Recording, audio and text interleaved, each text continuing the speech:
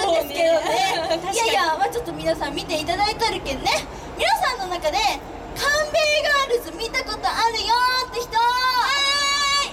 おー。おおうんありがとうありがとう。ありがとうございます。ちゃんと後ろにも届いてますよ。ありがとう。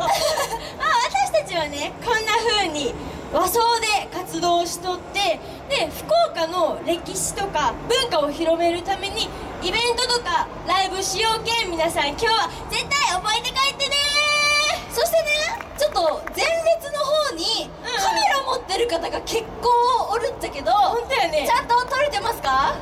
撮れてる？ああ本当イエーイ。可愛い子撮ってあらありがとう。ちょっと待って待って。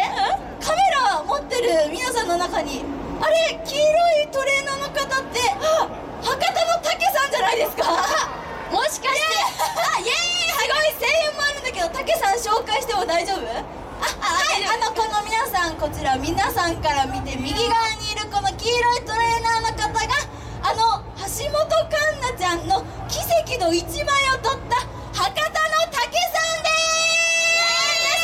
す。ごい。あちょっと待って待って竹さん取材入ってるもしかして。待って待って。私たちより全然人気なんじゃないのかな？あーたけさん人気者。ほら後ろに竹さんぐらいすごい人気なんやけどね。あの今日ね出演されているキュンキュンさんとそして私たちガンベイガールズのあの怒り浸透でね紹介していただいたんだけどあの撮ってるちゃんとたけさん。